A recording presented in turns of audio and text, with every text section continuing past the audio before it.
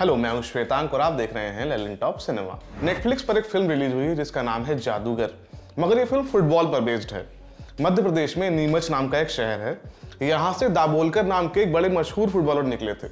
तब से उस इलाके में फुटबॉल का बड़ा ज़ोर रहता है। नीमच में आदर्श नगर नाम का एक मोहल्ला है। इनकी एक फुटबॉल टीम है, जो सालों से इंटर मोहल्ला फुटबॉल टूर्नामेंट में हिस्सा लेती आई है। अच्छे प्लेयर्स होने के बावजूद ये टीम कभी टूर्नामेंट नहीं जीत पाई। फुटबॉल टीम के कोच प्रदीप का भतीजा है मीनू। मीनू को बचपन से जादूगर बनना था। कुछ ट्रिक्स जानता है, बाकी पर काम चालू है। तभी उसे दिशा नाम की लड़की से प्यार हो जाता है। मगर यहाँ एक पेच है। या तो मीनू का प्यार पूरा होगा, या आदर्श नगर फुटबॉल टूर्नामेंट जीत पाएगी। जादूगर आइडिया के लेवल पर बिजार साउंड करती है, मगर यही चीज़ इसे खास बनाती है। जब तक आप कुछ नया या अलग ट्राई नहीं करेंगे, कुछ नया कैसे कर पाएँगे? खैर जादूगर कई मसलों पर बात करती है। फ़िल्म में फुटबॉल है, मैजिक है, लव स्टोरी है, एक लव और द्रोणाचार्य वाला माइथोलॉजिकल एंगल भी दिखता है। इन ढेर सारी चीज़ों के बीच ये फ़िल्म कन्फ्यूज़ सी हो जाती है। उसे नहीं पता कि किस तरफ़ जाना चाहिए।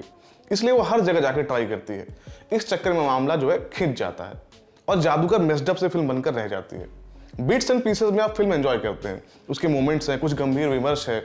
जैसे फ़िल्म में एक सीन है, जहाँ प्रदीप चाचा मीनू को समझाते हुए कहते हैं कि उसे अपने पापा का अधूरा सपना पूरा करना है।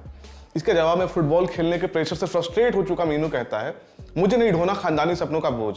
ये इंडिया में बड़ी कॉमन प्रथा है। जो पिता नहीं कर पाया, उसे उम्मीद रहती है कि उसका बेटा वो करके दिखाएगा।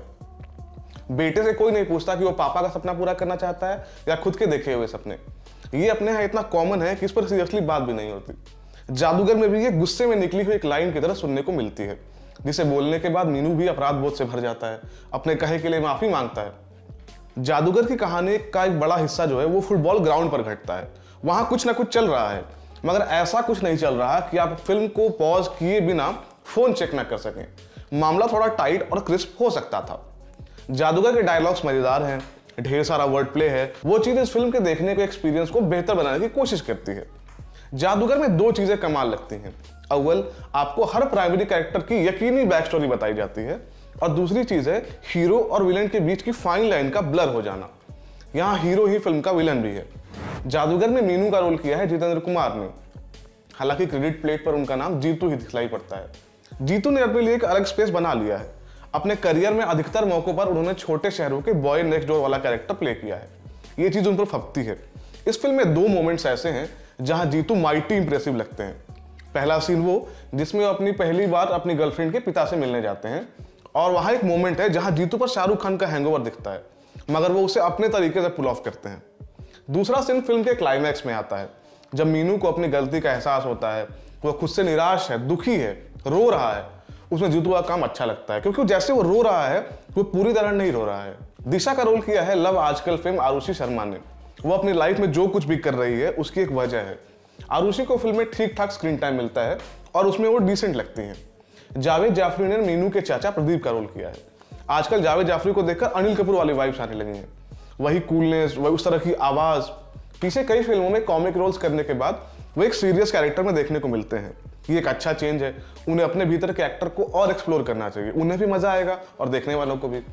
जादूगर में मनोज जोशी भी छोटे से किरदार में दिखाई देते हैं। जादूगर अलग किस्म के सब्जेक्ट पर बनने के बावजूद लीक पकड़कर चलती हुई सी लगती है। मगर ये फ़िल्म कन्वेंशनल एंडिंग से बच जाती है। ओवरऑल ये चीज़ फ़िल्म के फेवर में काम करती है। कुल मिलाकर बात यह है कि जादूगर कंटेंट ड्रिवन नए किस्म का सिनेमा बनने की राह पर चलती है। कोशिश के लेवल पर ये ठीक है मगर फाइनल फ़िल्म वैसी नहीं बन सकी, जिसे आप थ्रू आउट एंजॉय कर सके। कुछ नया करने की कोशिश के लिए फुल मार्क्स मगर उस कोशिश में सफल ना होने के लिए मार्क्स तो कटने चाहिए। ये हमारा मानना है। आपको क्या लगता है? हमें कमेंट बॉक्स में लिख के बताइए। जादूगर को आप नेटफ्लिक्स पर स्ट्रीम कर सकते हैं। मैं था श्वेतांक और आप देख रहे थे लल्लन टॉप सिनेमा। शुक्रिया।